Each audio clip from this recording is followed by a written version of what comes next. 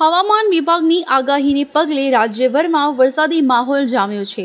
ત્યારે બનાસકાંઠામાં પણ મેઘરાજા મન મૂકીને વરસી રહ્યા છે.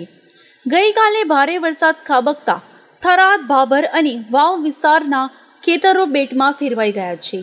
ત્યારે સુઈ ગામમાં ધોધમાર વરસાદ વરસતા નળાબેટ બોર્ડર સમુદ્રમાં ફેરવાય છે.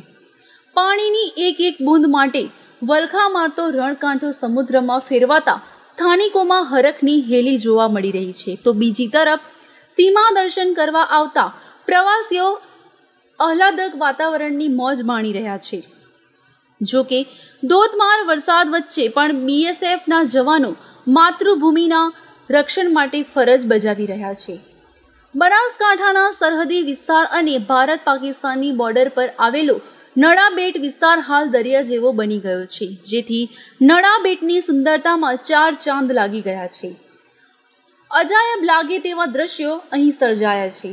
રણકાંઠો દરિયો બનતા અનેક પ્રવાસીઓએ અહીં નાહવાની મજા માણી લીધી હતી.